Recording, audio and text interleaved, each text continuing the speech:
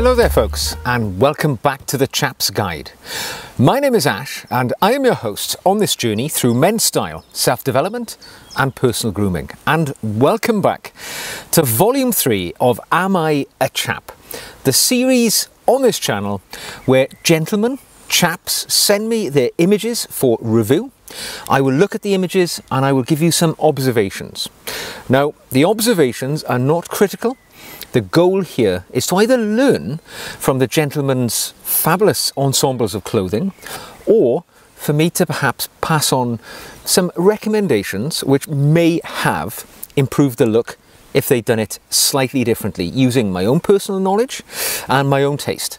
So by no means is this designed to be expert testimony.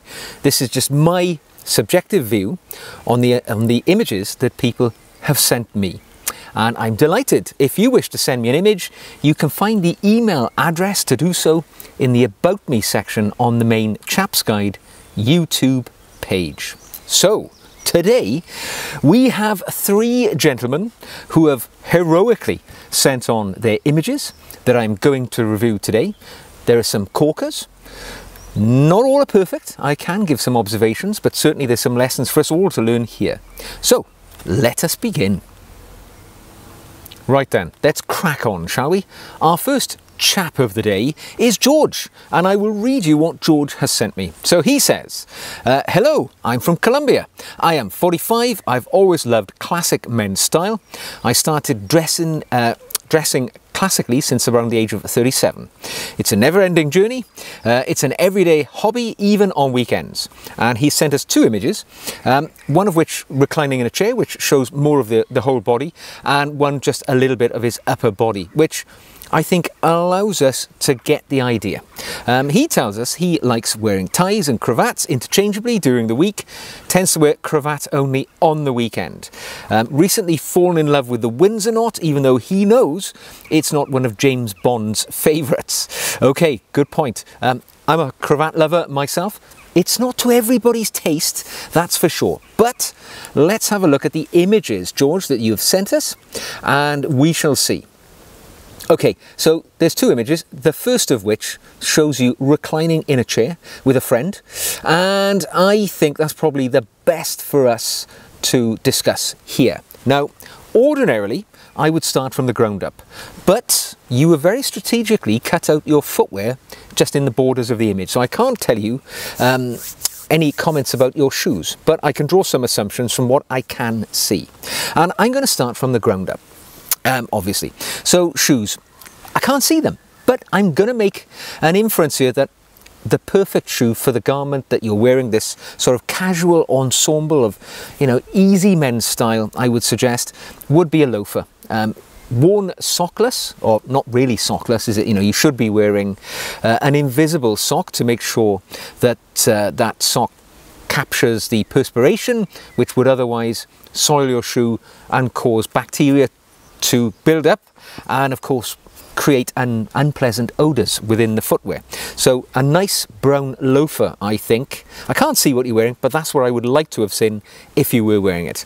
And when it comes to the slacks, I can see that you've got a light blue um, casual trouser.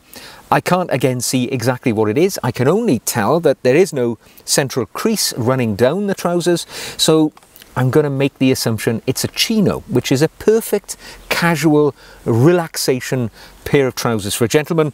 I'm wearing a pair myself right now, as I often am, unless I'm in a more formal situation. And this is a perfect blend uh, as to what you're wearing here today because as we look up the body we can see that you're wearing a dress shirt uh, open at the neck and it is a pink shirt. Now I love pink when it comes to gentleman's style.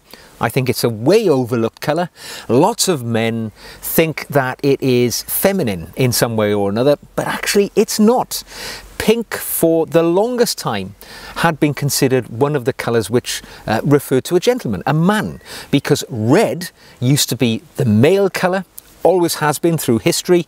You know, British soldiers particularly wore red tunics, and this was the embodiment of red-blooded masculinity. And younger men yet to achieve adulthood, they wore pink to delineate the fact they were not yet fully mature. to wear red.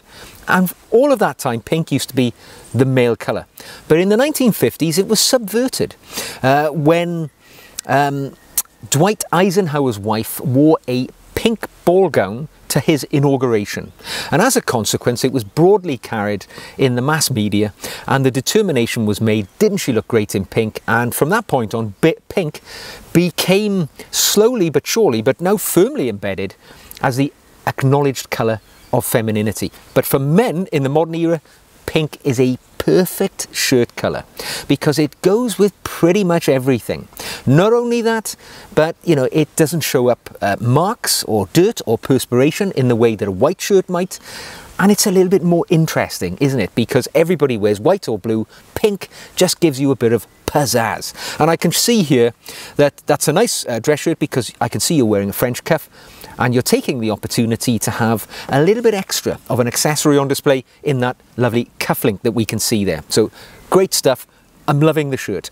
And the blazer, navy blazer. What more can a man have in his wardrobe than the universal, uh, I call it the Swiss Army garment, you know, because the blazer is so, so versatile.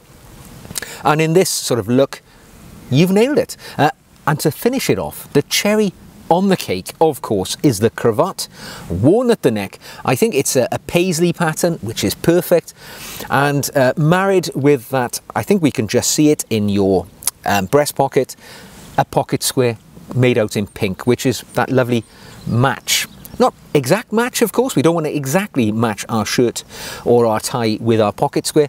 It's a complementary match. Maybe roughly the same colour, or the same color with a different pattern or a different texture, but a little bit of chaos going there in the pocket square. I really like the look that you've pulled off here, George. It is so classically elegant and perfect for a gentleman as you are from a warm country such as Colombia. Uh, it just looks just right, doesn't it, for, for casually loafing around. Um, what can I say? Yeah, an ex and I've made some notes, an excellently executed look. Uh, if you wanted to formalise that garment, all you'd need to do is throw on a tie with the shirt and you're ready to go to work. You know, so versatility in an outfit is perfect. So thank you so much for sending the images in. In your other image, I think you've just nailed home the fact that you know how to dress well because uh, there we see most likely a suit jacket with a um, red tie with a paisley uh, pattern within it, nicely spread white collar, pink pocket square, I don't know whether the pink is a perfect match there because it's arguing somewhat with the tie because they're both members of the red family in a way, but it's looking good. And the sunglasses. Sir, you are chap. Absolutely, no doubt. Thanks for sending the image in. Now our next gentleman, the, the meat in our sandwich, so to speak, in the middle, is a gentleman called Chris. Now, I, Chris doesn't state his nationality, but I'm going to draw the assumption that he is British, maybe English, because the style is oozing English country gentleman here. And he sent an image uh, which comes from his youngest sister's wedding. So he's dressed somewhat formally, which is nice to see. And as we can see from the image, Chris has gone for what I would describe as a country gentleman's theme to his outfit uh, for this most formal of opportunities, a wedding day. Of course it is. And as ever, let us start from the ground up and I'll give my observations as I go along um, about how I perhaps would have changed things. So looking at the ground, we can see Chris is wearing um, a pair of shoes, brown in colour, mid-brown. Uh, impossible to tell exactly, but they appear to be a plain brown shoe.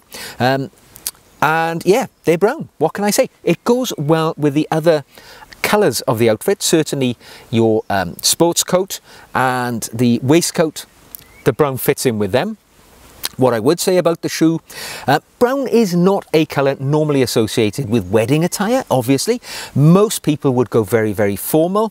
I wore a white tie on my wedding day all those years ago, but brown uh, suggests there's an informality and perhaps a casuality about the wedding, which is a lovely way to get the feeling going. So it's interesting to see brown at a wedding, but if I were to wear a brown shoe, um, you've gone for a plain shoe. Maybe uh, um, I would suggest it's a Gibson style or possibly a wholecut. But for me, wearing a plain brown shoe is an opportunity lost. I've said this before.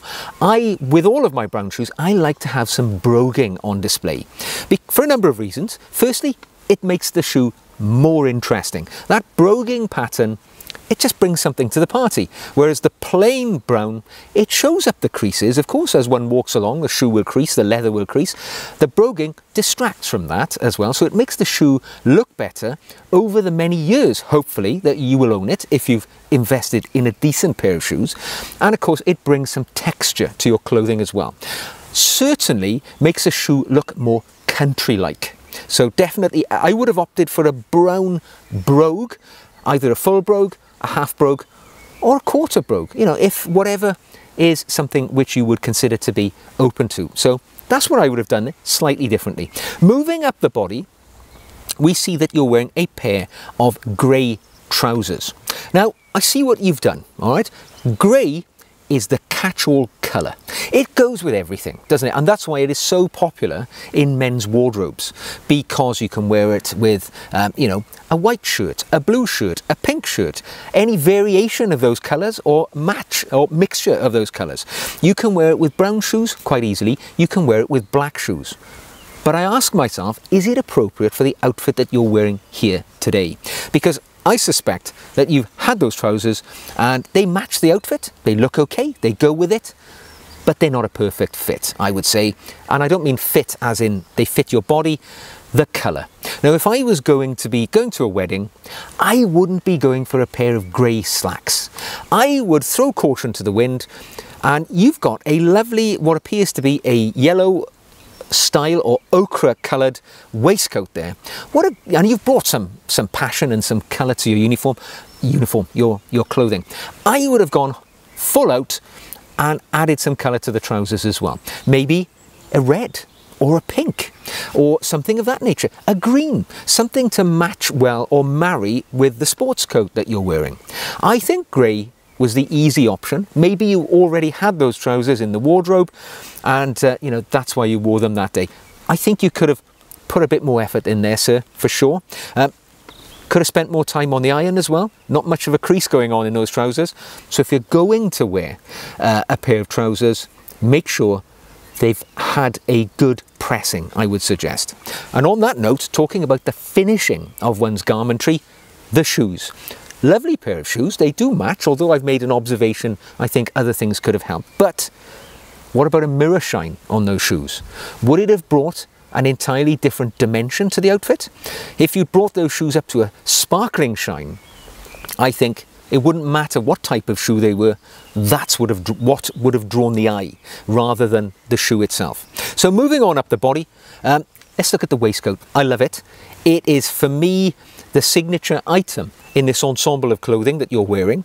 Lovely bit of colour, unusual, sort of a pastel yellow, perhaps hard to tell from the image, but yet it works for me. It brings pizzazz to the wedding because in a wedding day, you can get away with wearing things you wouldn't ordinarily wear. And it works well.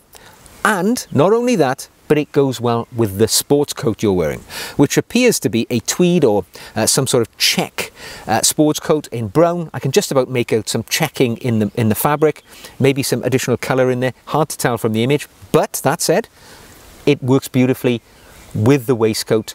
You've got a blue, uh, what appears to be a blue shirt on, dress shirt, French cuff, probably a cufflink going on there as well. Uh, it all marries together rather well. Now you're wearing um, some sort of, uh, sort of wedding cravat uh, with a uh, boutonniere or corsage on your lapel and it goes very nicely with the pocket square you have. It really ties it all together. So I think you've done a pretty good show here for your younger sister's wedding.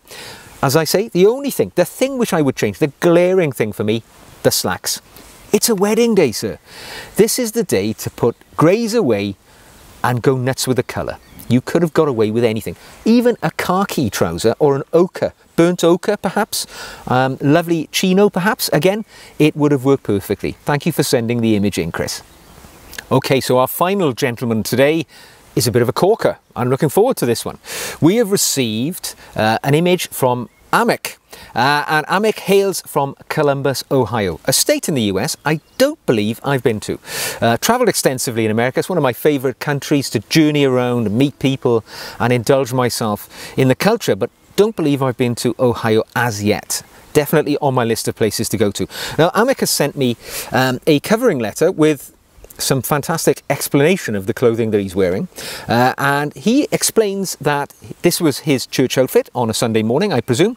And um, he attempts to buy as many of his clothes as possible from his country of origin, so from the United States, which is great, great, very um, positive way to support your own artisan clothing and cobblers and things like that from your own country.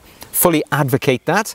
Of course, it's easy for me to say that because I live in the UK, which is, you know, sartorially one of the um, sort of, uh, you know, point zero for many of clothes, um, men's clothing, shoes and things like that. But in the States, it's also quite possible to do so too. Uh, and, you know, I can see that, well, let's have a look at the image of Amick. And as you can see, um, Amick has got a three-piece suit for us on display here today. So, my initial observation is a very well executed look of a smart man in a smart suit. It is fair to say here Amick, um, you have an advantage, don't you? A natural genetic advantage because I'm going to, it's impossible for me to tell because of the perspective, but you appear to be a man of height. I'm going to guess you're at least six feet tall from the image I can see here. And you have a frame which suggests to me that you're a man who keeps yourself in shape, maybe quite athletic.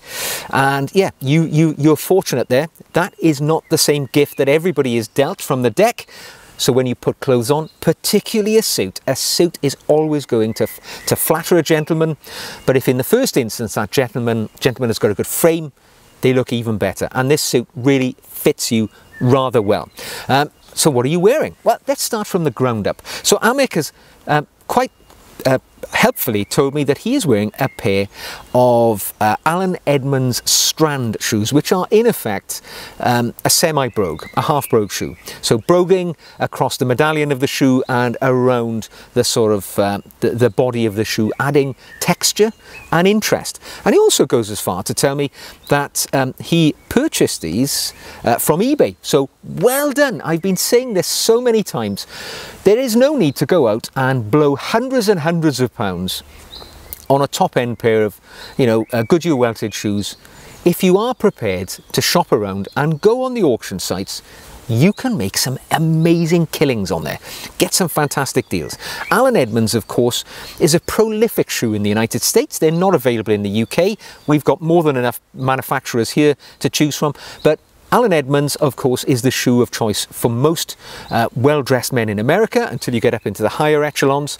And the Strand is one of my all-time favourites of their models because it's got good, robust, Goodyear welted uh, construction. It comes in some great colours. I particularly love their chili colour because I love oxbloods and reds in my footwear. And, you know, they look great in the broguing. And you have actually, and he mentions here, uh, Ahmed does in his uh, email, that he went um, to the extent of providing or creating that um, on the toe cap of the shoe to make the shoe look interesting. And I can't make any observation about that. The shoes look great. You've got a good shine on them. Uh, that antiquing effect by the created by the patina makes them look superb. If I was going to wear a pair of shoes out in an ensemble like this, this is what I'd be wearing. You've nailed it. Let's move up the body. Let's look at the trousers. So we've got a three-piece suit in a grey colour. Um, I believe it's a charcoal colour and he tells us it's a Articles of Style uh, charcoal puppy tooth fresco suit. So good quality suit. And the trousers are good. I can see you've got a good crease. We've talked about a crease earlier. If you're going to wear a pair of trousers, put the bloody iron on them before you wear them. Let's do the most with the material that we're wearing out that day. And you've done that. You've got a good crease going on with the shoe, uh, with the trouser rather. The only thing I would say observationally is that the break of that trouser appears to be uh, needing alteration. All right, you've got some rucking or some bunching of the trouser at the ankle. I can understand why the trousers are tapered. They're a close fitting trouser, uh, and as a consequence of that, there's no sort of gaping over the lacing system of the shoe. Might often shoes uh, trousers will do that, but you with a pair of trousers which are so finely um, ta tapered and so closely cutting to the leg you need to get the break just right. So I would suggest possibly going to the tailor and maybe having, I don't know, an inch off that trouser, see what it looks like, take the advice of a professional seamstress or a tailor, and they will be able to cut that perfectly for you. Let's move up the body. Let's look at the top half. Now, um, you're wearing a shirt and you've gone to the trouble of telling me it's an Articles of Style Bengal striped shirt in khaki with a tan collar. Looks good. Um, for the for the business formal or the church formal as you are here, my personal preference, I'm not a big fan of stripes on shirts. You'll rarely ever see me wearing a striped shirt here because I love a blank canvas for my tie, all right? And um, for me, white or light blue is the way to go pink if I'm feeling a little bit frivolous. But yeah, this works nicely because the stripes are muted, all right? They're subdued. There many Bengal stripes you'll find are reds and dark blues. They are forcing that uh, colour in your face and it's difficult then to marry a tie with that shirt because the shirt is screaming for attention. And of course, that's the tie's job. Remember, the tie is often the star of the outfit because it brings the colour, the texture, and the pattern. And if your shirt's trying to do the same thing, there'll be a conflict. But here, your shirt is worked well. It is fair to say. It's not screaming for attention. It works well with the tie that you're wearing there. And um, yeah, it's a nice tie, striped tie, regimental tie, or club tie as you might call it in the US. And it marries very nicely. You've got brown shoes on, so you've got elements of brown within that tie. And you've said, I think there's khaki and tan colour represented in the shirt. Again, that tie is going to be a lovely addition to that. Um, Talking about that shirt, I can see that you've got it fitting just about right on the sleeves as well. Uh, whereas, you know, we're always looking for no more than half an inch protruding from our uh, our jacket or coat sleeves when we're stood upright. All right, so any more than that, and it's going to look like your jacket sleeves are too short. And no sleeve at all, none of your shirt sleeve exposed at all will kind of suggests that your jacket sleeves are too long. So we're always just looking for that little flash of the shirt colour and I can see you've got it just right. A quarter to a half an inch is the goal. Um, I often don't because I wear chunky watch, but quarter to a half an inch is what we're aiming for and it looks spot on. The waistcoat you're wearing fits well, bottom button undone in the classic sartorial style. You've got it just right. The jacket or the coat that you're wearing, as I said, a very good fit, uh, notch lapels. It screams smart, stylish, gentleman. Let's talk about your accessories because there are a few things I would like to talk about. Your grooming, spot on, clean shaven man, a rarity in the modern world today. And I like to see a man who's taken the time to put a razor to his face. It suggests cleanliness, crispness, and you know, nothing to hide. Looks good. I like a clean shaven man. Your sunglasses, um, clearly it's a warm sunny day. They are a well complement to your face. Looks good indeed. Pocket square. The white pocket square protruding about a half an inch above the line of the breast pocket. Um, in the president style or the straight style, it's perfect. You could wear that pocket square in any situation. On your wedding day, to church, to court, to the office, or just being stylish in a metropolitan large city. Uh, so yeah, you cannot fault the straight white pocket square. I noticed that um, the late great Duke of Edinburgh, one of the best dressed men in all of history, always wore a straight folded pocket square in his uh, jacket pockets. And if it was good enough for the Duke, it's good enough for anybody. But there's one little thing which I would like to point out, which I was impressed to see. And that is, sir, that you are wearing a US flag in your lapel, in the buttonhole of the left-hand side of your lapel. I mention this because the devil is in the detail when it comes to the fine elements of being a well-dressed man, and intentionally stylish man. And it's little things like always having a lapel badge which says something about you. Now, I'm not wearing one myself, it's a summer jacket, so I might often wear a boutonniere with this jacket from time to time, but I, I normally will have a little lapel badge because it's just the final touch. It is the cherry on the cake which says a little bit something about you. And here, by wearing the US flag, you're telling us more than one thing, aren't you? You're telling us that you subscribe to that mindset of the devil is in the detail and something more important, which I associate with entirely, you're a patriot. And there is nothing to be ashamed or um, embarrassed about in displaying your national flag about your clothing. Now, in, in my country, in the United Kingdom, there has been a reluctance for people to um, maybe wear um, their national flag on their clothing in the manner that you are in the US. Uh, in many cases, uh, you know, the national flag of the UK is absent. You might walk through a town, you might not see the Union flag, the Union Jack often called, um, because people we're a little bit reluctant to put it in, you know, out in public, throw it in people's faces. It's just our subdued manners here in the UK. I actually love the fact in the US you revel in your national identity and you love displaying symbols of your patriotism. Now I notice from your uh, your accompanying letter that you tell me that um, you're carrying in your pocket, you went to the detail of telling me in your pocket you carry a pocket knife issued while I was in the Navy. And that told me immediately I could understand fully why you're wearing that national flag. You're a member, former member of your armed forces, and of course, those people who have served under the colours of their country, they often feel an enhanced sense of pride and association with their national identity. So I fully understand now why you're wearing that flag, and I, uh, I can say nothing but I congratulate you on so doing, sir. It's wonderful to see. I wish we would see that more often in my own country particularly because the Union flag is a beautifully symmetric and colourful flag which has a lot of resonance, you know, it's a very beautiful flag.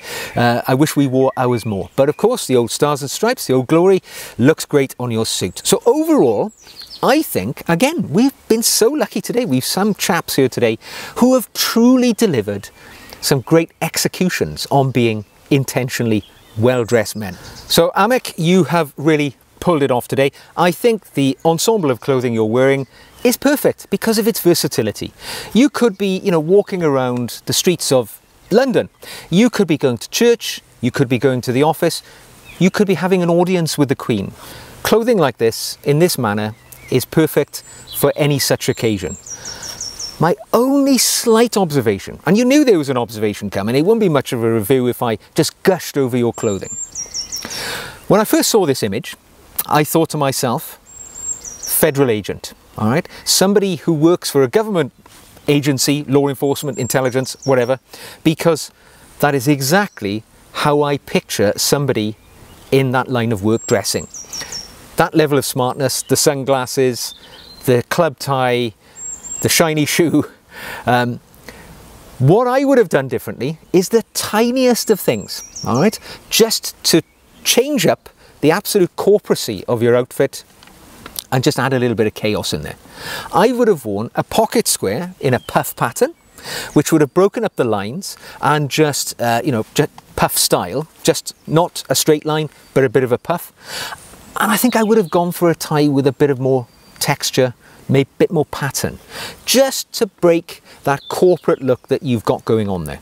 There is nothing wrong with it. I think it's great, as I've said, but that would have been my inkling, just to change it up a little so that I looked a little bit left of centre because this is a very conformist outfit that you're wearing. So to add a slightly unusual tie or maybe a pocket square with some irregular pattern to its display might have made the slightest bit of difference which would have altered the look. But please, that's just my thoughts. So, gentlemen, there we are. Those are our three heroes today. So my thanks to George, Chris and Amek, who I think absolutely you are chaps. And I am more than happy to testify to that in any court of law, I assure you. If you would like to um, send an image in for me to review it, maybe give you my observations, don't forget, emails in the About Us box on the main YouTube page. Drop me that email. If you're going to send me an image, try and send me a full image, you know, so I can see the shoes and the whole outfit that you're wearing because half an image, you're only going to get half a review. Um, so thank you so much for participating in Am I a Chap? It's been a pleasure to look at your clothing, to review what I think, and also to learn from the, your individual styles from all different parts of the world here. Um, three different continents in the three different gentlemen we have seen today. So if you have enjoyed the video, you know the drill, thumbs up, click the subscribe button, you can leave me a coffee, the link to the leave me a coffee page is in the show notes, you can even click the super thanks button down there by the thumbs up uh, icon if you want to help support the channel through YouTube. So until the next time, continue to wear your clothes in a fashion that when people see you passing them in the street, they turn around as you walk past and say, my God, that guy is a chap. So until the next time, take care, and I will see you very soon.